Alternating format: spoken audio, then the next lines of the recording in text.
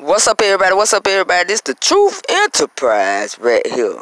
The Truth Enterprise and the Truth Enterprise. If this channel gets shot down, y'all know where to find me at on the other one. Check this out. This is for VS. VS, you brought that lady back on there again, huh? So you wanted some more of your live story to be told, huh? I guess you did. Oh well. VS, when you brought your mama about a year ago on your show and dogged that lady out, you dogged that lady out, VS, and I called the truth in the bushes. Called Joe Page, VS, and I asked you to leave that lady alone, VS. I say, stop dogging that lady out in front of all these people. I say that lady has taken enough of a beating. You don't remember those words? Go back and look. That was me. That was me, VS, telling you to leave your mama alone, dogging her out on national YouTube when she was apologizing to you. You could have took that lady off the streets. That's your mama. See, this is for all you VS followers.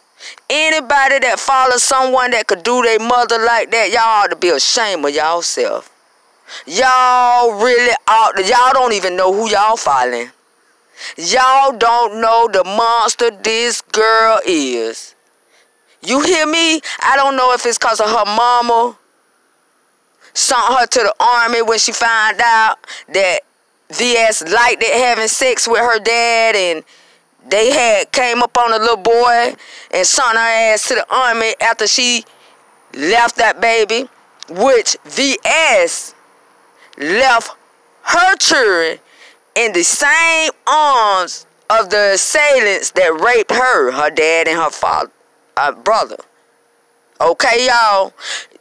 To all you VS followers, y'all are weak as hell because instead of y'all taking that girl and helping that girl out, y'all encouraging her to do the fuck shit that y'all can't do and wouldn't ever do because you you bitches is weak and weak minded.